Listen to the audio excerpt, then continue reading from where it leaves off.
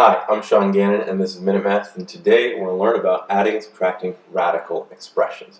So if I was told to simplify this problem, negative 10 times the square root of 7 plus 12 times the square root of 7. Okay.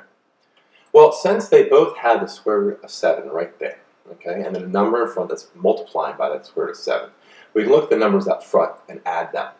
Well, negative 10 plus 12 is just a positive 2. We have positive 2, and that's being multiplied by just the square roots that were next to it, square root of 7.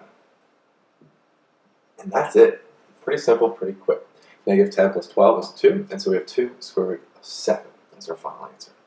So let's recap. We're given negative 10 plus, uh, times the square root of 7 plus 12 times the square root of 7.